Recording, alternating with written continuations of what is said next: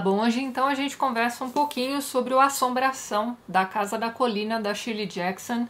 Caso você procure este livro por aí no original, ele pode vir a ter dois títulos diferentes, olha só. Ele pode ser conhecido como The Haunting, né, só a Assombração, ou então The Haunting of Hill House. Este é um livro publicado em 1959 e é bem comum né, você ouvir por aí que a Shirley Jackson foi uma mulher à frente do seu tempo, escrevendo um livro que vai resvalar em diversos temas incomodativos para a sua época e tudo mais, mas se você parar para pensar, diversas outras mulheres já estavam escrevendo livros bastante problemáticos, entre aspas, no finalzinho da década de 50, e aí você já considera como livros dos anos 60, enfim. Este aqui é um daqueles livros que a gente lê num dado momento esperando alguma coisa, o livro não entrega aquilo que você estava esperando e você fica assim, hã, que livro chato. Bem, foi isso que aconteceu comigo. Inclusive, foi isso que aconteceu comigo com um outro livro que eu até trouxe aqui para mostrar para vocês. Este livrinho aqui, ó, A Outra Volta do Parafuso, do Henry James, que também é conhecido por dois títulos, olha só. Esse livro também é conhecido como A Volta do Parafuso. Mas então, esses dois livros eu li mais ou menos na mesma época. Eu li esses dois livros no original para o meu curso de inglês, né? no curso que eu fazia, cada semestre você tinha que ler um livro, apresentar um semináriozinho, aquela coisa toda, e né, tínhamos aí uma certa predileção por livros góticos, livros de terror e etc, não é mesmo? Pois então, e a mesma coisa aconteceu com esses dois livros. Eu achei os dois chatíssimos, né? Este livro aqui do Henry James eu acabei relendo quando eu comprei aquele livro Contos de Horror do século XIX, porque esse texto está completinho também dentro daquele livro. Reli já por volta ali dos meus vinte e poucos anos, continuei achando o livro chatíssimo. Mas numa terceira leitura, para preparar um vídeo aqui para o canal, aí sim eu encontrei diversas coisas interessantíssimas aqui neste livro, né? Foi só eu debruçar um olharzinho diferente, entrar na leitura sem aquela expectativa de uh, é um livro de terror, vou me assustar a qualquer momento. Bom, vale dizer também que a adaptação para cinema deste livro, chamada Os Inocentes, com a Deborah Carr, é um baita de um filme incrível. Mas então, foi somente com a terceira leitura deste livro que eu entendi o que é que ele tem, e ele tem coisas incríveis. Bem, uma coisa semelhante aconteceu comigo, então, na minha releitura de Assombração na Casa da Colina. Esse livro aqui saiu em português recentemente, é um livro curto, ele tem ali menos de 250 páginas, a leitura é bem rápida também, apesar de que a autora aqui neste livro vai emular um romance, uma escrita né, de romance vitoriano. Então este livro aqui pode se encaixar naquela categoria de livro gótico, né? E sempre que eu me pego pensando ali nos romances góticos vitorianos, a primeira coisa que me vem à cabeça são as Irmãs Brontë. Então você tem ali o Borro dos Ventos Vivantes, dependendo do olhar que você debruçar sobre Jane Eyre, aquele livro também vai ser um romance gótico. Dickens também tinha diversos contos góticos, você tinha o amigão dele, Wilkie Collins, escrevendo algumas coisas ali desse tipo também. Você tem o próprio Henry James, um americano, também escrevendo romances góticos, e enfim, este livro é bem parecido com aqueles. Então, se você pega este livro para ler esperando um livro de terror a lá Stephen King, esta leitura não vai te satisfazer, porque ela tem uma pegada mais, como é que vamos dizer, de uma criação de ambiente mais rebuscada. A grande graça desse livro não está na superfície dele. A gente já vai conversar sobre o enredo dele em um minutinho, mas então, o enredo é simples, mas é na camada logo abaixo desse enredo que você vai encontrar aquilo que realmente interessa nessa história. Bom, eu provavelmente fiz aí uma leitura diferente da maioria das pessoas que encontraram aqui um livro assustador, de terror, de casa mal assombrada, de fantasma, etc. E, gente, o que eu encontrei aqui foi um livro interessantíssimo sobre suicídio. Esse livro inteiro é o preparo do suicídio da protagonista. E é melhor eu já dar o alerta de spoiler logo no começo desse vídeo, porque sim, eu vou comentar algumas coisas a respeito dessa história que provavelmente você aí que não leu e que tem aversão a spoilers pode não querer saber, certo? Então guarde esse vídeo para ver depois da leitura do livro, caso você tenha interesse em ler esse livro em algum momento da sua vida, ou se você não liga para spoilers, de repente eu posso até levantar aqui algumas bolas que vai né, direcionar o seu olhar quando você estiver fazendo a sua leitura. Né? Você pode prestar atenção a esses detalhes que eu vou levantar aqui nesse vídeo, tanto para ver se você vai realmente encontrar isso na leitura, como para dizer assim, não, Tatiana tá enganada, esse livro não tem nada disso. E é isso, certo? Então esta é uma resenha que contém spoilers. Pois muito bem, vamos lá. Na minha cabeça, esse vídeo não vai demorar muito, mas né, nunca se sabe, ele pode ter mais de 20 minutos, certo?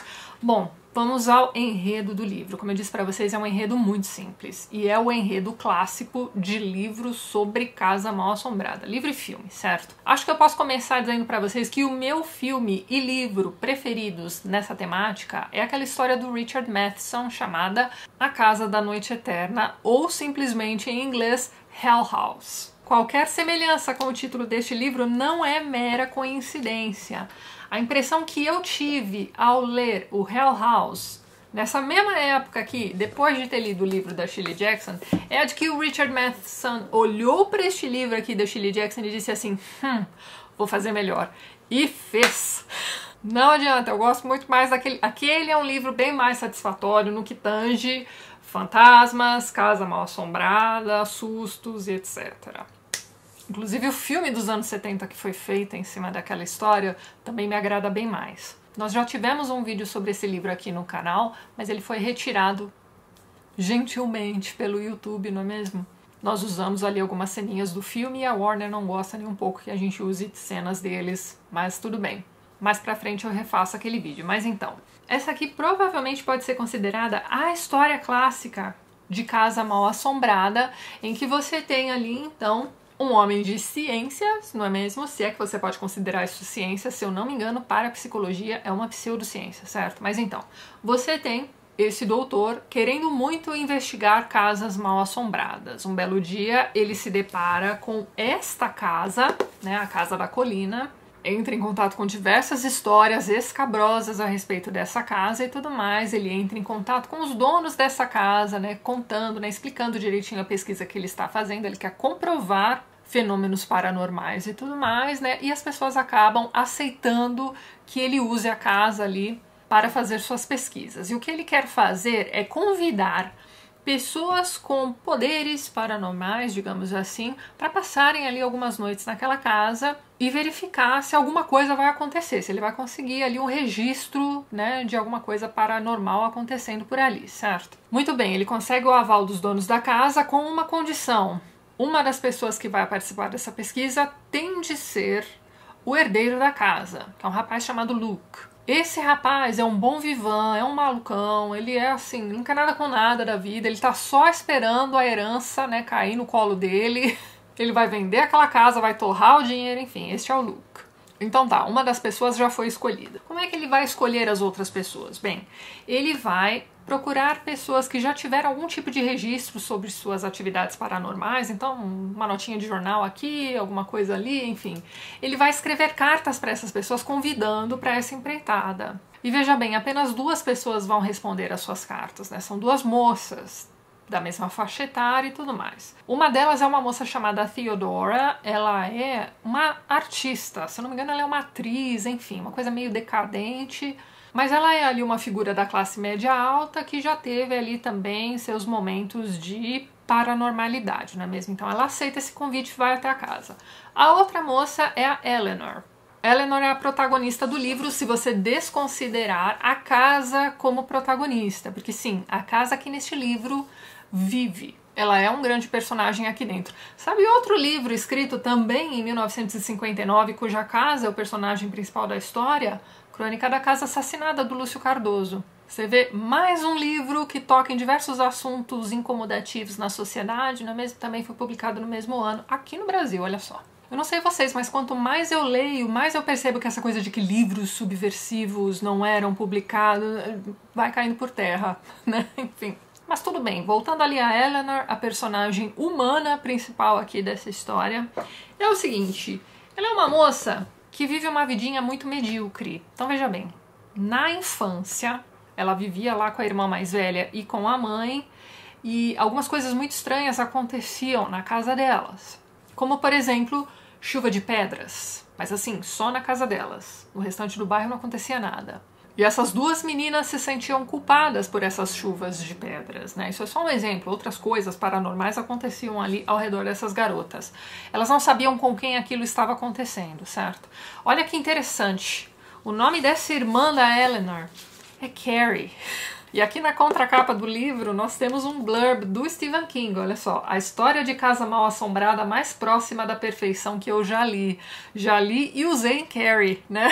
Mas então, algumas coisas estranhas aconteciam na casa dessas meninas. Essa irmã mais velha cresce, se casa, ela continua cuidando da mãe e a Eleanor se sente muito culpada pela morte da mãe. A mãe já estava muito doente, acamada, aquela coisa toda, e numa determinada noite, a Eleanor, muito cansada, acaba caindo no sono. Enquanto ela estava dormindo, a mãe passa mal e morre. Quando ela acorda, a mãe está morta e ela acha que a mãe morreu por culpa dela. Então ela carrega esta culpa, certo? Ela tem essa coisa da paranormalidade, né? Mais pra frente a gente vai vendo que algumas coisas continuam acontecendo só com ela e com a irmã, não. Portanto, foco é a própria Eleanor, certo? Ela vive ali uma vidinha meio fracassada, né? Então ela tem ali uns subempregos, ela mora no porão da casa dessa irmã. E é isso, nada acontece na vida dela até ela receber a carta do doutor ali, né, que está convocando pessoas para passarem uma temporada na casa da colina. Então veja bem, eu vou ler aqui o primeiro parágrafo do livro, a abertura mesmo do livro, que é bem interessante. Olha só, já está tudo aqui. Eu, inclusive, recomendo fortemente que, ao término da sua leitura, você leia novamente essa primeira página do livro. Veja bem. Nenhum organismo vivo pode existir muito tempo com sanidade sob condições de realidade absoluta. Vou repetir. Nenhum organismo vivo pode existir muito tempo com sanidade sob condições de realidade absoluta. Se você ainda não entendeu, volta um pouquinho o vídeo, ouça novamente. Continuando. Até cotovias e gafanhotos, supõem alguns, sonham.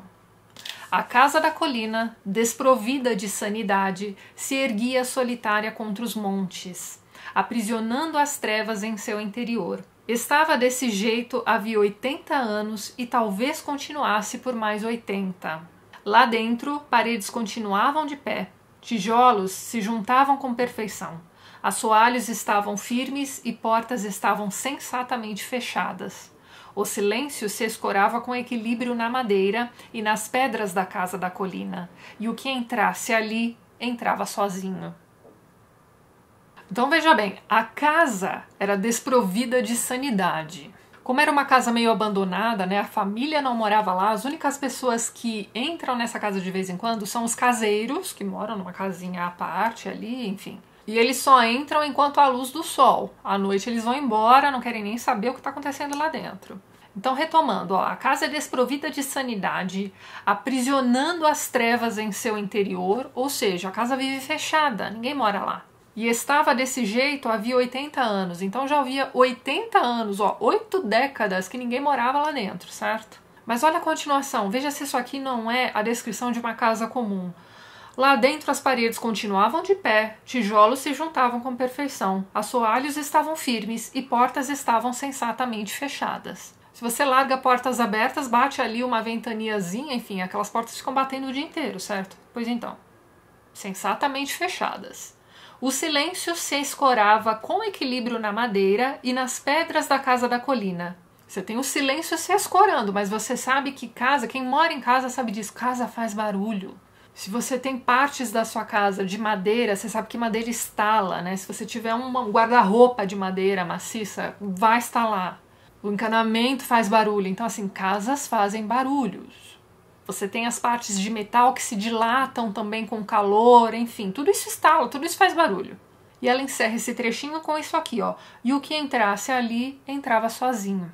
Afinal de contas, relembro a vocês, é uma casa que está abandonada, né? Somente os caseiros entram lá, certo? E é isso, mas como eu tinha dito a vocês, existem diversas histórias tenebrosas a respeito dessa casa da colina, né? Aparições e, enfim.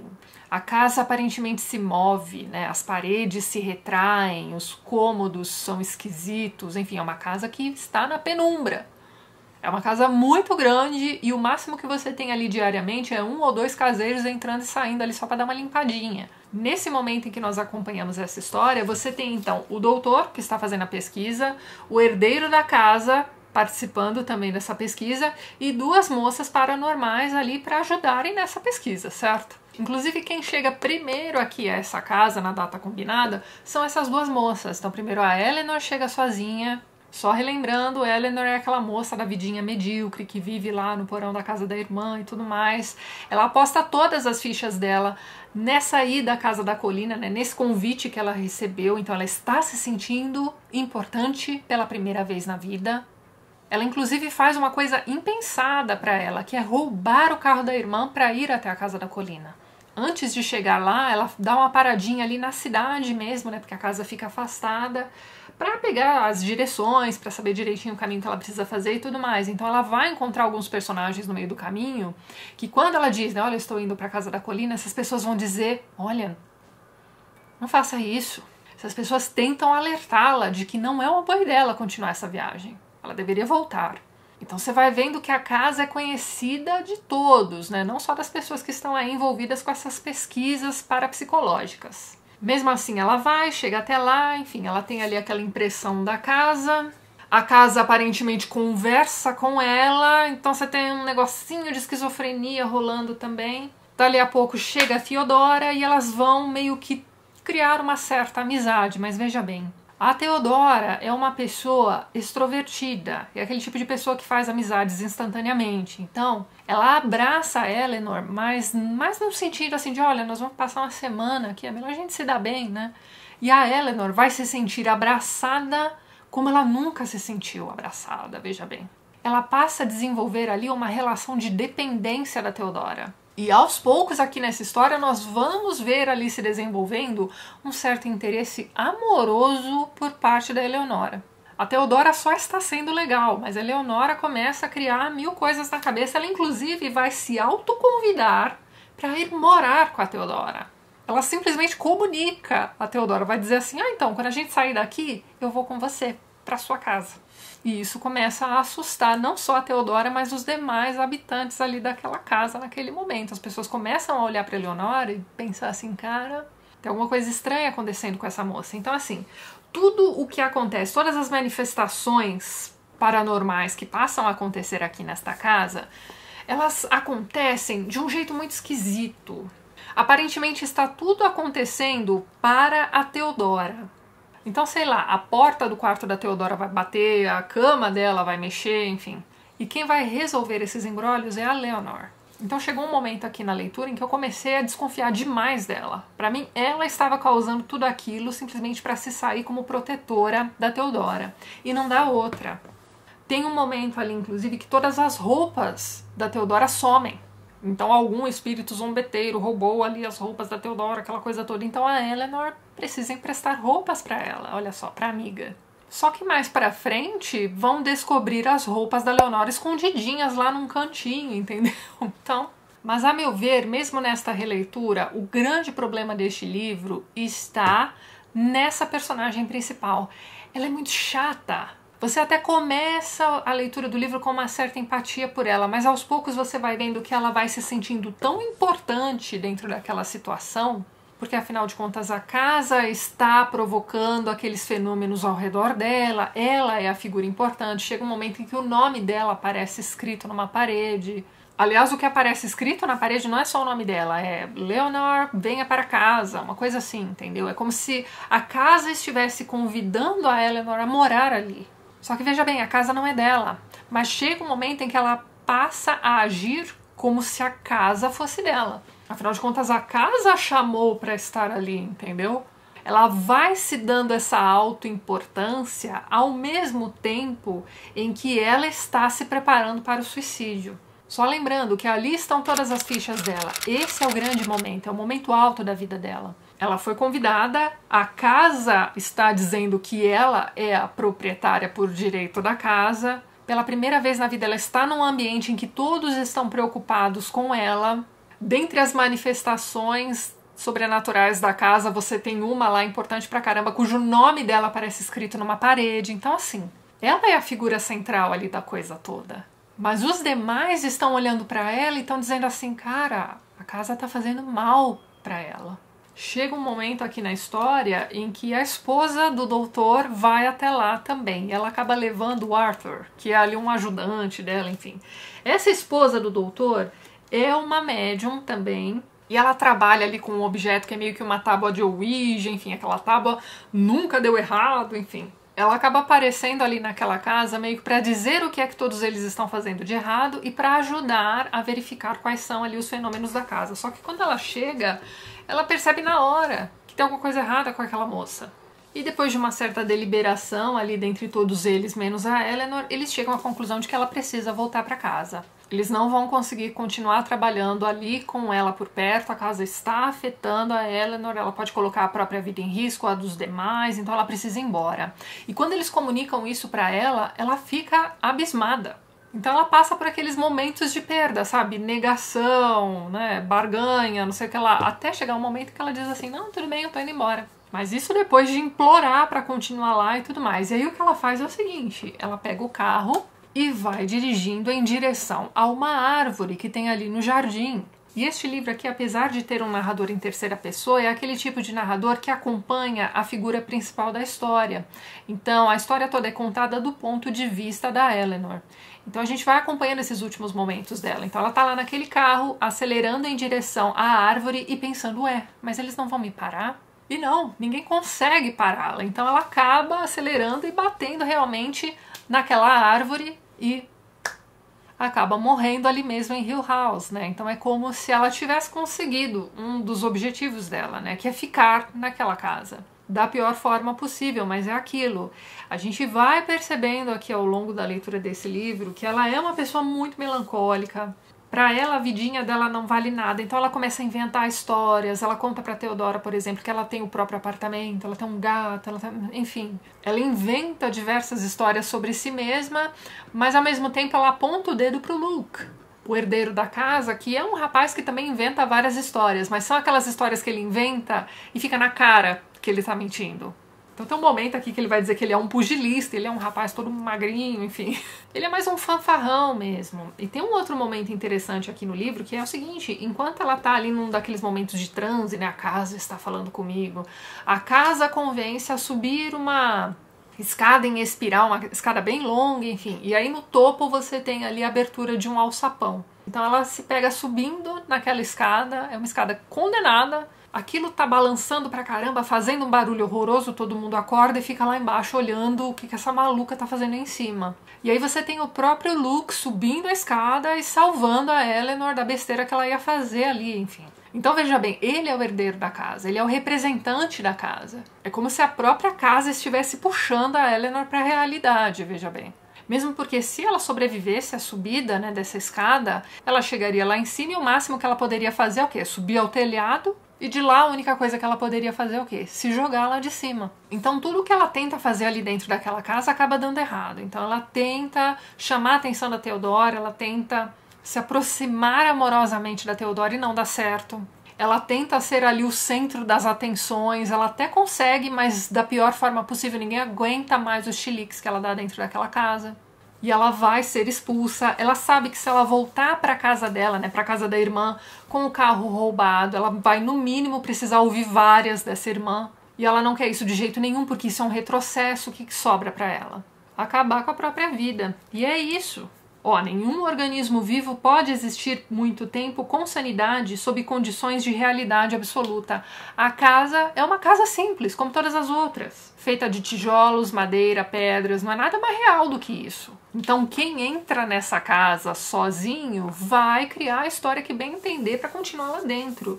Então, eu entendi essa história mais ou menos como aquelas situações em que, sei lá, eu nunca me esqueço de uma amiga minha que foi para o Canadá e arrumou um emprego lá como bartender. Era, pensa assim, na pessoa mais improvável de se tornar um bartender. Pois é, essa minha amiga. Então, ela conta essa história de que ela chegou lá, então ela tinha ali as receitinhas dos drinks e tudo mais, e aí ela foi fazer um drink, naquela correria, né? Foi fazer um drink ali que uma pessoa pediu e esqueceu de colocar a vodka.